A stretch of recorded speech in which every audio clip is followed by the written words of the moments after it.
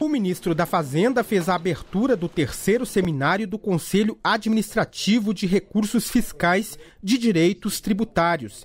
Especialistas e técnicos do governo discutem o aperfeiçoamento da atuação do órgão no julgamento de contestação de impostos por parte dos contribuintes. Henrique Meirelles voltou a afirmar que o país saiu da maior recessão da história.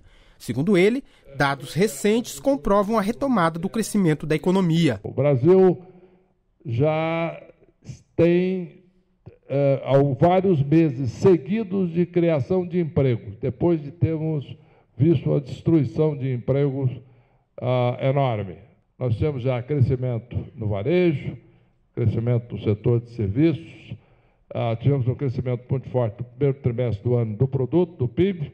No segundo trimestre, uh, o PIB, segundo medido pelo Banco Central, teve também um crescimento positivo e nós temos já previsões, de fato, cada vez mais consolidadas de um crescimento que vai se acelerando durante o correr do ano. O governo está empenhado na aprovação do novo texto do Refis, o programa de regularização das dívidas tributárias com a União.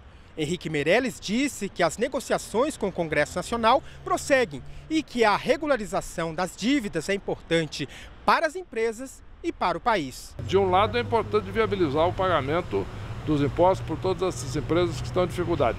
Por outro lado, é importante ficar claro porque a empresa faz uma boa administração do seu próprio negócio pagando os impostos em dia. Não se pode dar benefícios para quem uh, atrasa ou não paga os impostos em detrimento daqueles que estão pagando em dia.